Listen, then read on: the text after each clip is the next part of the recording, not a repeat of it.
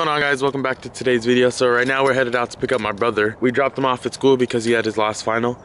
So right now we're about to head out and pick him up and then I think we're gonna go get some food and then we're gonna head back home. So just come along.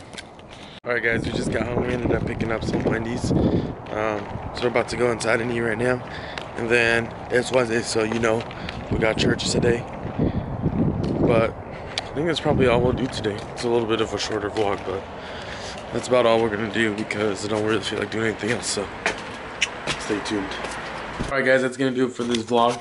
I hope you guys did enjoy as always.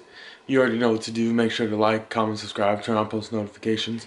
Please share out these videos because we're growing as a channel and I love to see that. So I'm just gonna keep doing my thing. Hopefully you guys can share it out and, and show the love, spread it out and make this channel grow. Yeah, like I said, hope you guys did enjoy. Like, comment, subscribe, do what you gotta do and I'll see you guys tomorrow. Peace.